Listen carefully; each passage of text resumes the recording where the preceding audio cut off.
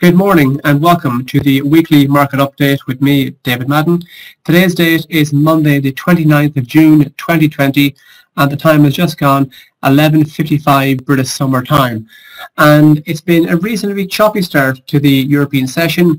Uh, the indices opened lower, then they were quickly in positive territory, then they were going back and forth, and now they're showing modest gains. Um, DAX and the FTSE and the likes, they're all up, you know, uh, three tenths, uh, five tenths of a, of a percent. So modest enough gains, but the kind of indecision and the kind of whippiness of the market tells me that traders are kind of wondering, wondering which way to turn. Um, the common themes picking up from the back of end of last week uh, continues to be sadly the coronavirus crisis, crisis the COVID-19 crisis.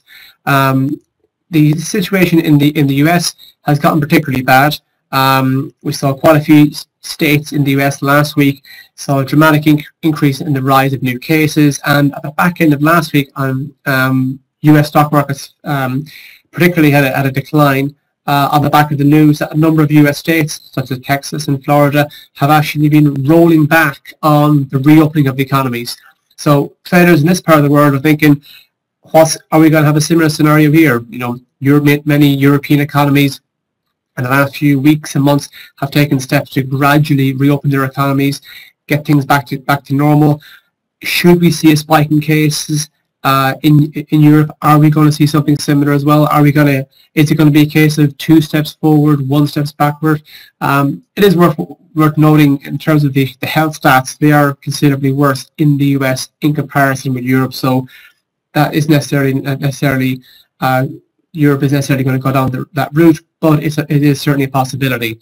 Um, it's something which traders are, are clearly mindful of. Um, this morning we've heard from the UK's Prime Minister, Prime Minister Boris Johnson, uh, who kind of talked about how now is not the time to be taking a step back in terms of the economy. Uh, um, Mr. Johnson pledged, you know, in advance at the back end of last year on the run up to the general election big spending across education, technology, and infrastructure, and he's basically doubling down on that. So, um, like many other other economies around the world, yeah, the attitude is kind of throw money at the problem, and you know, it's central banks can only do so much. It is time for fiscal policy, government spending, and the likes um, to really kind of play its role too.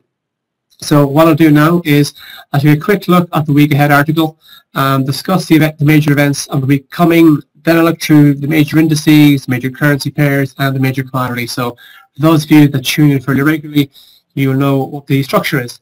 Um, this here is the week ahead article. It can be found on our website, cmcmarkets.com, under Insights, News and Analysis. You'll find it there. So looking ahead to tomorrow, we have the final reading of UK first quarter GDP. Uh, tomorrow, we also have fourth quarter numbers out from FedEx. The US-based delivery company. Um, that's going to be of interest because given the huge rise of online shopping in the last few months because of the lockdowns, um, we're going to, you know, FedEx's numbers are going to be interesting. You know, we obviously seen online retailers have done very well, and therefore online, online, online retailers require delivery services. Uh, we have the the survey, the Tankan survey out of Japan for the second quarter coming out on Wednesday. Also Wednesday, we have first quarter figures out from Sainsbury's, uh, one, one of the big British supermarkets. Wednesday, we have German unemployment too. We have the manufacturing PMI reports for the major economies of the world coming out on Wednesday.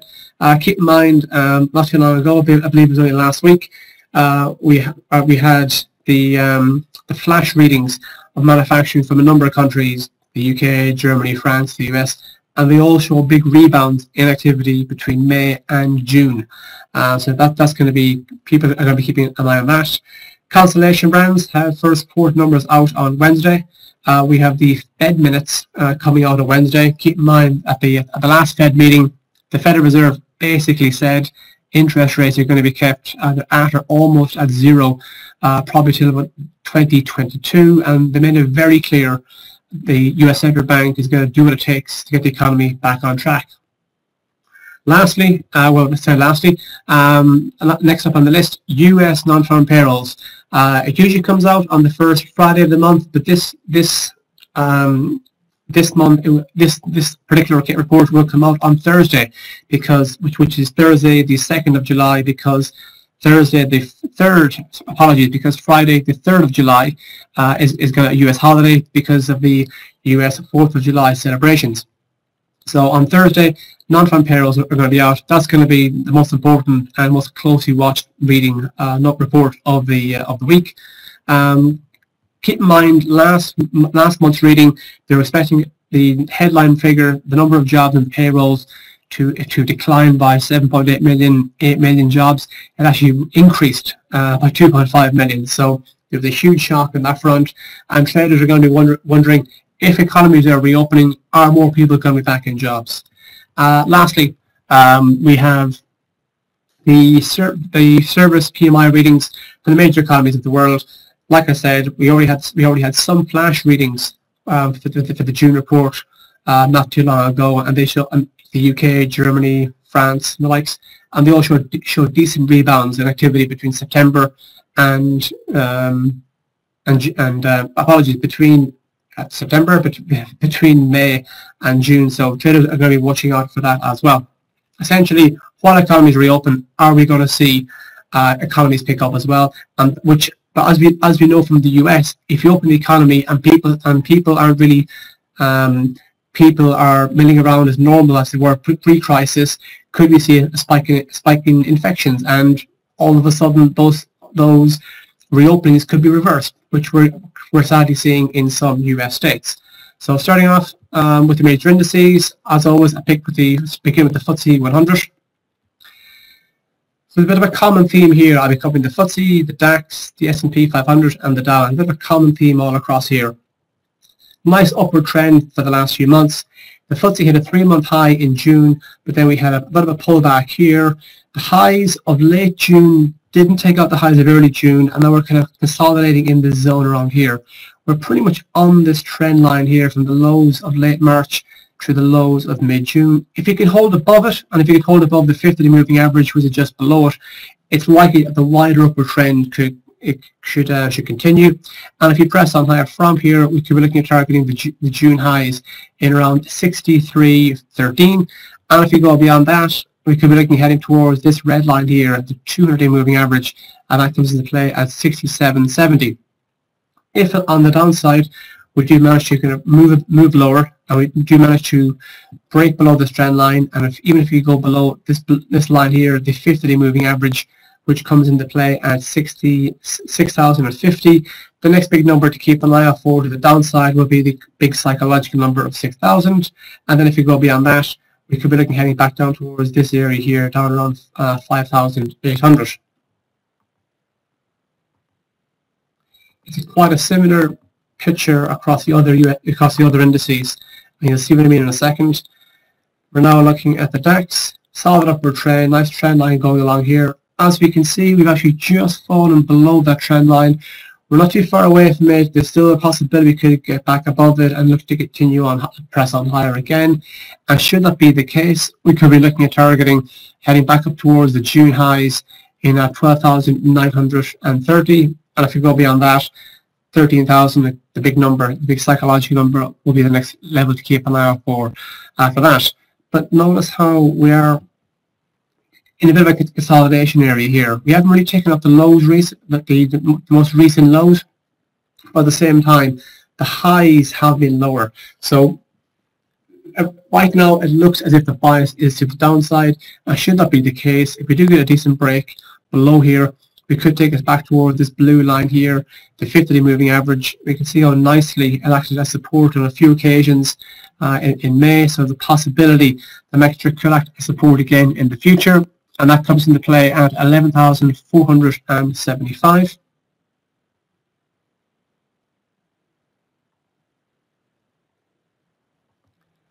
Looking at what's going on over in the US, starting with the Dow Jones.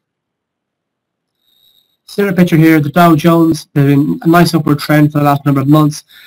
It hit a four-month high in early early June, but notice how similar to the DAX and the FTSE, hit a multi-month high, had a pullback, found support here from the 50-day moving average, this blue line along here.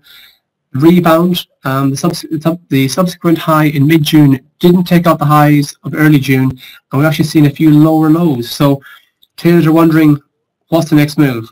Is it a case of we are going to find some, we're going to hold support above the 50 moving average, and then the wider upward trend will continue, or is this the beginning of a series? You know, we've had a lower low, a lower high, and a lower, you know, and we're moving lower if we if this if this if we continue to move lower and we take off this low, then we'll have seen a couple of lower lows and lower highs.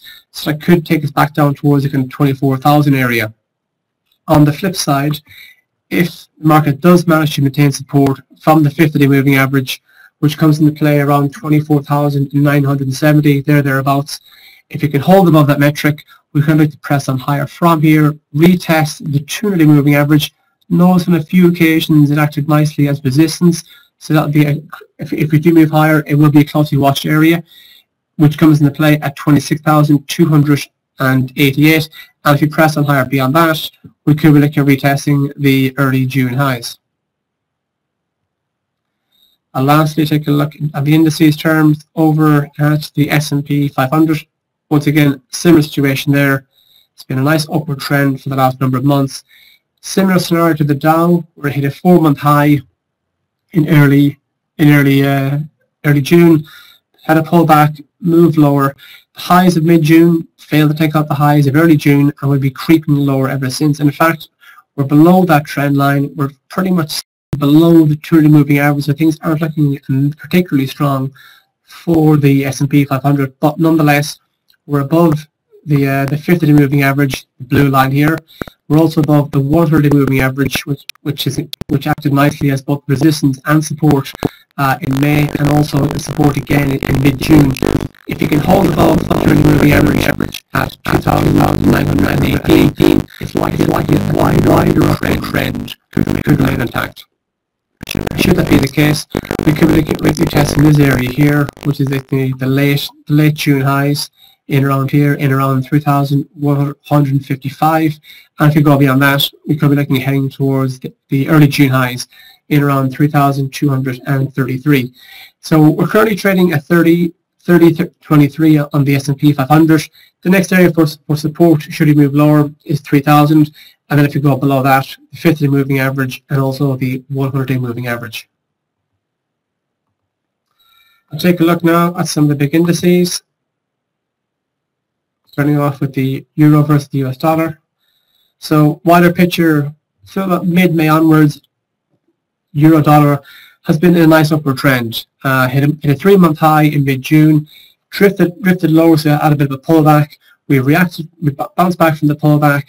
The subsequent move to the downside here uh, last week didn't take out the lows of mid-June, so we're still in, in the wider upward trend. If you look the press on higher from here, and if you take off the recent highs, say the high of last week, we could put us on course back towards the kind of 114 area. And then if we go beyond 114, we could be looking heading back towards the highs of March in around one spot 1495.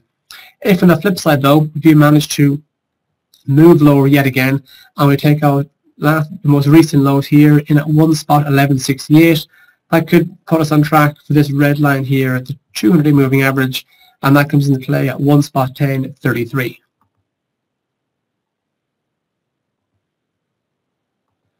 I should now take a look at the pound versus the US dollar. So pound dollar hit a, hit a multi-month high in the middle of June, but in early, early June, but since then it has been drifting lower, seeing a lower low, a lower high, a lower low, a lower high, and another lower low. So things are heading are not looking great for the pound at the moment. Um, below the 20 moving average, the 100 and the 50 day, and we've basically fallen back to a level last seen.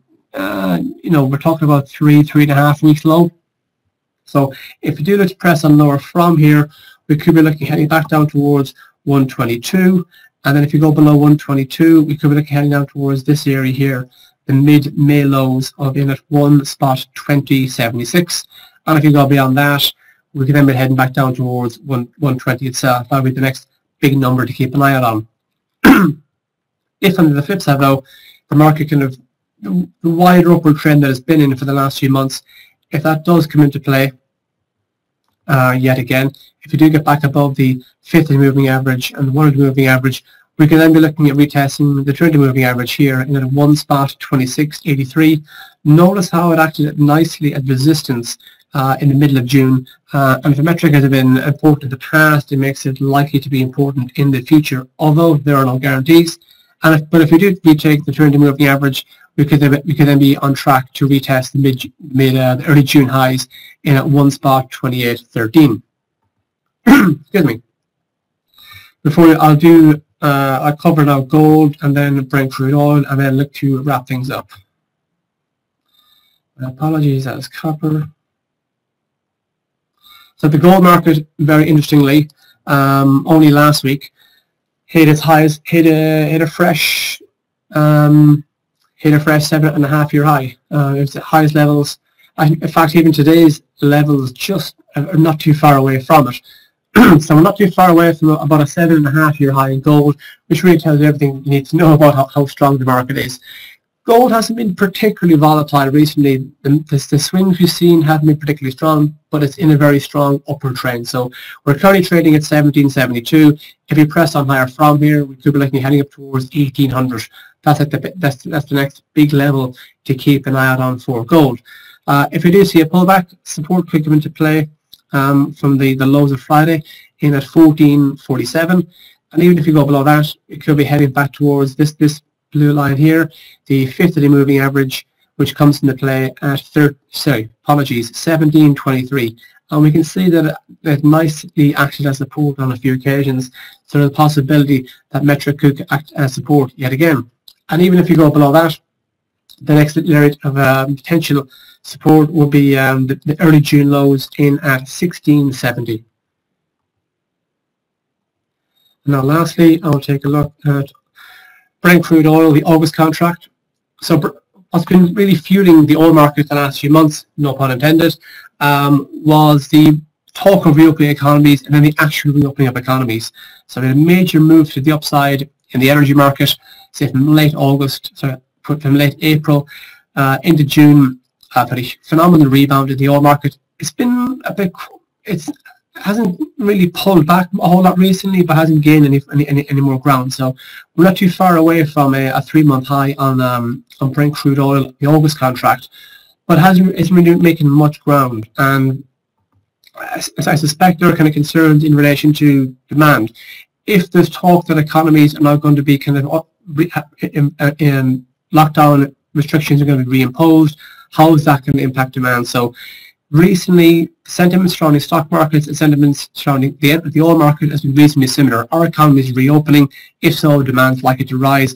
Our economies are going to have their reopening plans put on hold or reversed. That's likely to have a negative impact on the on the demand for oil. But nonetheless, uh, the upward trend on the last few months is still intact. If you press on higher from here, if you take out uh, the most recent highs on Brent crude, we could be looking at targeting the, the lows of early, uh, well, the, um, this, this, level here, the level seen I mean, in the first week, in the first week of March uh, before the big drop off in at $45.85. And even if you do have a, have a pullback, we could be looking at retesting the um, the lows of um, of mid-June in around $37. And if you go below 37 bucks, we could head back toward this blue line here, the 50-day moving average at 35, sorry, $35 spot 35 cents. Uh, thank you for listening. Uh, that's all for this week. Uh, have a good trading week. Stay safe and good luck.